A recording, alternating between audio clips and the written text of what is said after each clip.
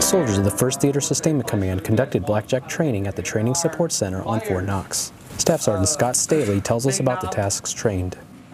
The first task we're conducting is to practice uh, react to contact training utilizing the Fort Knox small arms marksmanship trainer. Also, we have a group conducting Humvee egress with the heat trainer. Sergeant Natalie Taylor tells us what she feels is the most challenging part of the egress. It's trying to get your seatbelt up and seeing if your vehicle door opens because not everyone's vehicle door could open. It, you just have to adapt to the situation. We train on these tasks to become proficient so when you get to the battlefield and these incidents, whether you roll over or take contact like we're training today, they become more instinctive and it's easier for soldiers to react when they have been in the situation prior to that. Combat-focused systems such as the SAMT and the Heat Trainer allow members of the 1st TSC to rehearse under controlled conditions, which aid them in being more successful on the battlefield.